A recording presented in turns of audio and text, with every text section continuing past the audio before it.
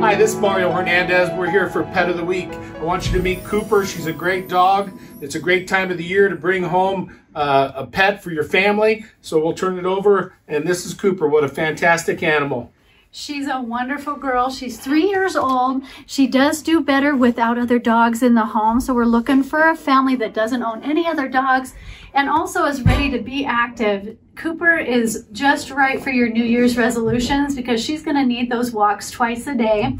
And she just got an incredible personality, lots of great energy that will keep you moving and keep you on track. And so come on down to the Snake River Animal Shelter at 3000 Lindsay Boulevard to check out Cooper and her cousins. We hope you come down and many thanks to Teton Toyota and Volkswagen for sponsoring our Pet of the Week.